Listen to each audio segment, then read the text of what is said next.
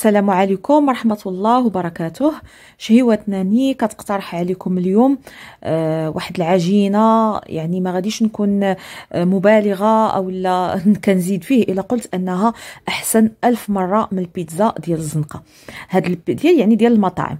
هاد البيتزا هادي. اولا بعجينة بسيطة كتجي زوينة بزاف وخفيفة وهشة وطرية وبواحد الحشو متنوع يعني كتعملوا فيها اللي عندكم. يعني غنية غنية غنية بزاف وفوق هاد الشيء كتجي لذيذة للغاية. هاد البيتزا هادي كترضي يعني جميع الأذواق. وانت كتاكليها أو لو انت كتاكلها كتحس بأنك يعني كتذوق فيها كاع المكونات اللي يعني اللي ك... اللي عموما كتعمل في بيتزات متفرقة. تبعوا معايا الفيديو وغادي تعجبكم إن شاء الله وغتجربوها بالنسبة للعجين فأنا هنا عندي 350 آه، غرام ديال آه، الدقيق آه، الأبيض يعني الفورس يعني تقريبا واحد ثلاثة الكيسان ونص مقابل 150 غرام ديال الفينو اولا دقيق القمح الصلب.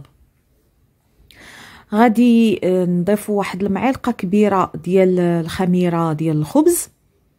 غادي نخلط بطبيعة الحال. وغادي نضيف آه، الملح يعني القدر الكافي ديال الملح. وغادي نزيد ثلاثة ديال المعالق كبار ديال زيت الزيتون. وغادي نضيف واحد المعلقة كبيرة ديال السكر. وغادي نخلط تاني واحد الرشيشه ديال الزعتر. إلا يعني كتعجبكم تعملوها تعملوا الزعتر في العجينة عملوه ما كيعجبكمش بلاش يعني حتى طرشوه في الأخير. وطبيعة الحال العجن غيكون بواحد الماء دافئ آه يعني ما ما يكونش سخون يعني باش ما ي... يعني ما يقتلش لينا ديك الخميرة يعني ديك المواد الفعالة في الخميرة. وما يكونش ثاني بارد لأن الجو باقي يعني ماشي ديال تعجن بالماء في حرارة الجو. كنبقاو نضيفوا الماء بالتدريج يعني ما تضيفوش الماء مرة واحدة والعجينة كتتعجن حتى كتوصل للقوام المناسب. هانتوما غادي تشوفوا العجينة كنحصلوا على واحد العجينة رطبة هانتوما كتشوفوا وكتشد لك شوية يعني ماشي مرخوفة وجارية بحال ديال البغيوش ولكن كتشد لك يعني كتبعك في يديك. يعني هذا هو القوام المناسب. كندهنوا داك الوعاء. الوعاء نيت أنا فاش عجنت هو اللي كندهنوا بواحد شوية ديال زيت الزيتون. بالنسبة هنا كنقول بأن أنني كنت معمرة هذا الكاس هذا ب 500 مليلتر ديال الماء. وعجنت يعني منين حسبت لقيت أنني عجنت تقريبا ب 300 حتى 320 مليلتر ديال الماء الدافئ. هنا طبيعة الحال غلفتها وخليتها خمرات. هنا كما كتلاحظوا أنها خمرات بواحد الشكل يعني ملحوظ. فأنا قلبتها هنايا في سطح العمل. آه ديك الكويرة قطعتها باش نعمل بها آه بيتزا مارغريتا لواحد الفرد يعني في الدار ما كيبغيش يعني حتى حاجة حتى بيتزا من غير آه مارغريتا يعني الفرماج والزيتون فقط.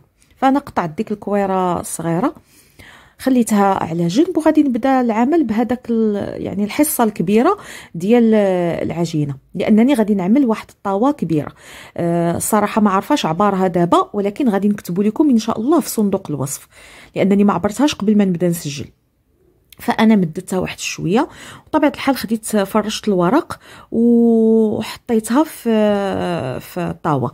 هنايا يعني غادي تلاحظوا من بعد أنني الطاوة باش بديت كنخدم جاتني صغيرة يعني لو كملت فيها كانت العجينة غتجيني غليظه بزاف. فأنا بدلتها للطاوة الكبيرة ومددتها مزيان يعني حاولوا تطلقوها آه لأنها كتزيد كتنفخ مازال في, في الفران.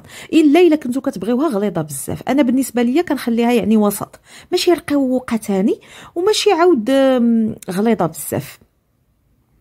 هنايا بعد ما مددنا العجين آه غادي نبدا نتقبو. آه واحد المسألة راه الطاوره كبيرة ما شاء الله. راه يعني واحد الحجم كبير. هذه راه بيتزا يعني آه عائلية.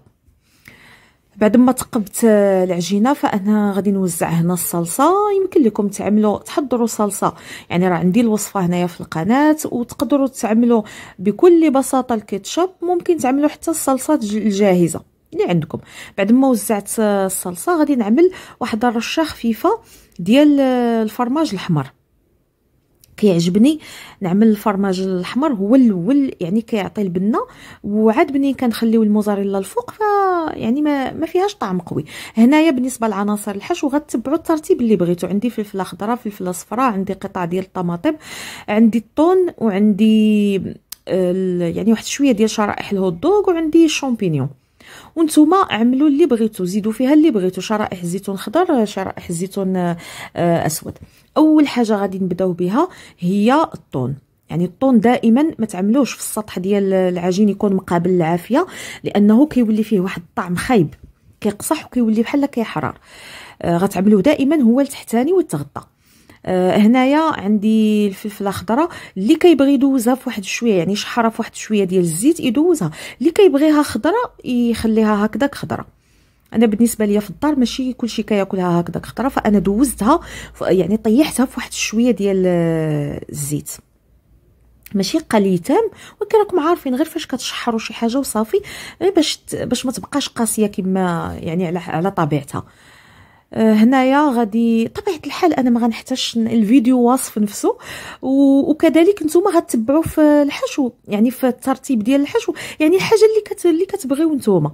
هنايا وزعت الشامبينيون آه، ديك الشرائح الهوت دوغ وخديت هنايا الزيتون آه، ديك الشرائح ديال الزيتون الخضر وغادي نبقى حتى هي نوزعها. آه هنايا ما لقيت لقيت الكاميرا ما كتصورش فأنا زدت وزعت واحد الخليط ديال الموزاريلا والفرماج الأحمر عاد باش حطيت فوقو الشرائح ديال دوك القطع ديال الطماطم. آه ومن بعد كنبداو نوزعوا الزيتون آه شرائح ديال الزيتون كحل. تقدروا تعملوا كفتة تقدروا تعملوا الدجاج تقدروا تعملوا اللي بغيتو. وهنايا بعد ما وزعت الزيتون ديك شرائح الزيتون الكحل. غادي نزيد واحد الرشيشه عاود ديال الموزاريلا. وهنايا آه غادي ناخذ واحد شوية ديال الزعتر بين يديا وغادي نبدأ نفركو واحد شوية وغادي نرشو.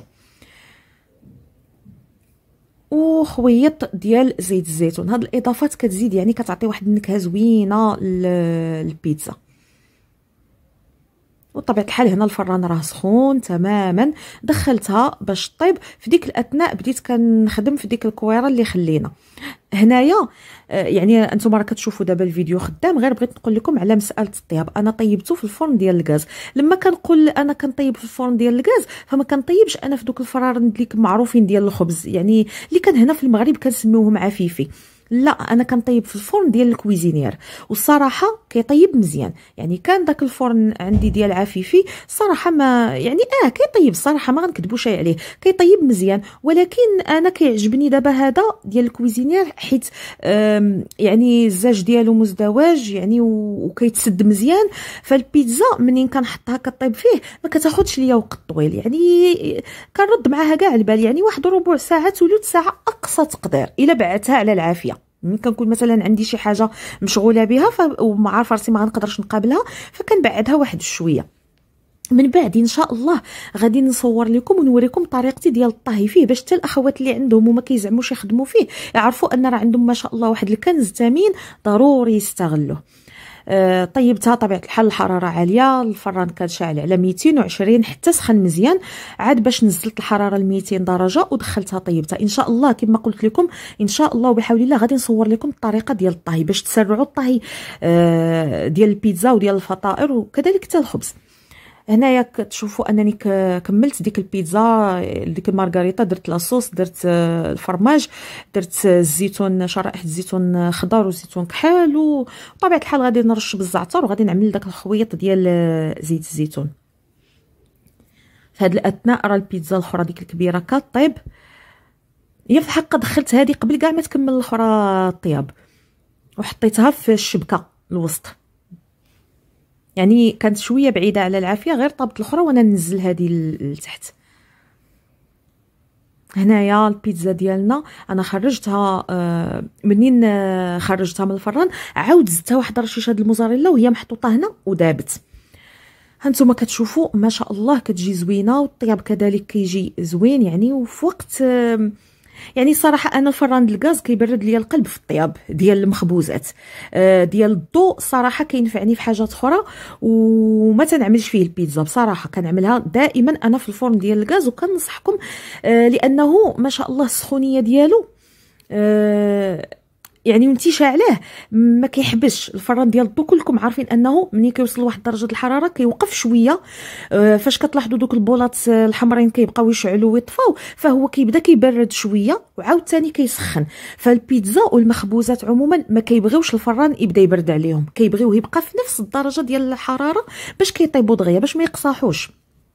ما شاء الله جات واحد البيتزا ما شهيتكم فيها. وغير لل... يعني للمعلومية أنا راه عاملاها هذه الغدا يعني راه ما عملت معها حتى حاجة.